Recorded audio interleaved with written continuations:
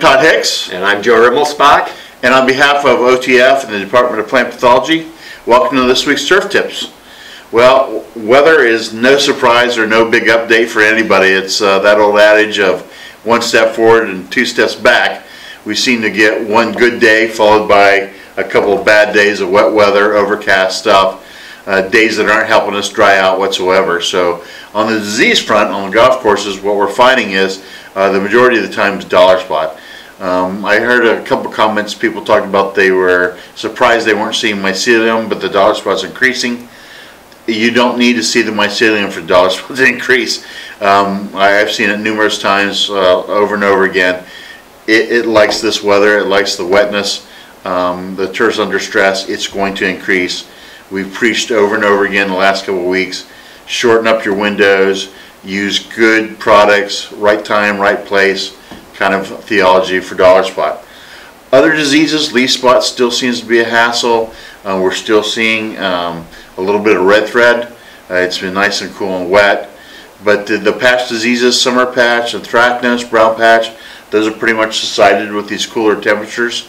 A key thing on brown patch, if you had it during that outbreak a couple weeks ago, if we get a little humidity and the temperature rises, it will reoccur rather quickly. So you need to make sure you've got something uh, uh, if that's a worry for protection.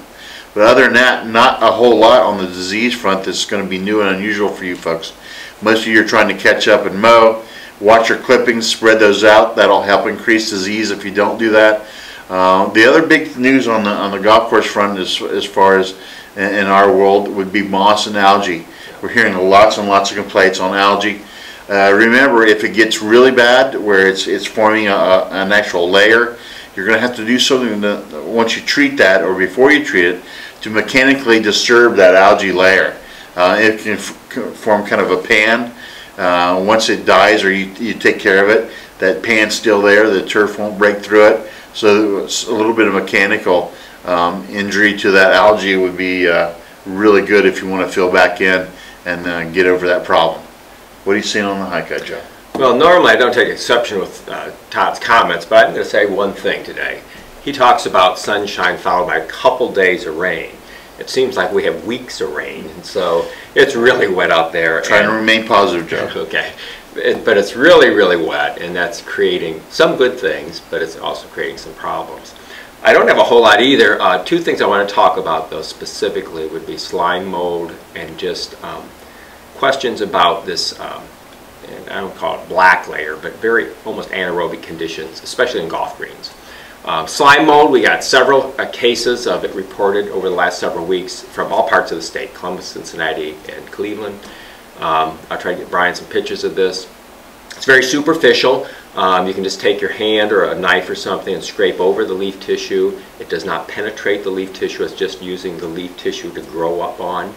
Um, it's you know driven by temperatures and, and, wet conditions, and it can be all different colors. Uh, you know, uh, they can be a pinkish or reddish colors. I've seen yellows, grays, different colors. So it's kind of a nuisance thing, but it's really uh, superficial. The other thing I want to mention is we're getting golf samples in from golf courses on greens questioning anthracnose. Uh, many of you out there are excellent now at looking for the signs and symptoms of anthracnose. Um, and then getting these samples in, I'm not seeing any anthracnose. Now, but if you peel about the, back the plant on poa annua at the base, or if you look at the stolons on, uh, on bent grasses, they will appear a black color. And what this is, is not anthracnose, but it's just anaerobic bacteria growing on the surface of these lower parts of the stem and the upper roots. Um, if you cut these samples open, oftentimes they have that anaerobic smell like rotten eggs. And as you scrape this off very carefully, the, the root oftentimes or the stem tissue is alive, at least for now.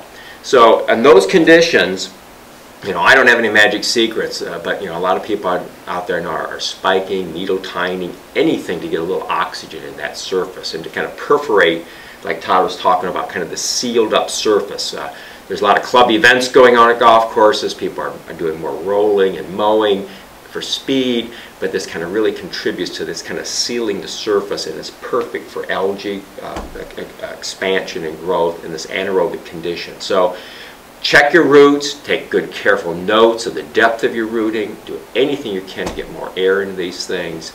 And uh, I want to wish you the best of luck. And if you have samples or questions, you can send us, send us uh, uh, samples or call us.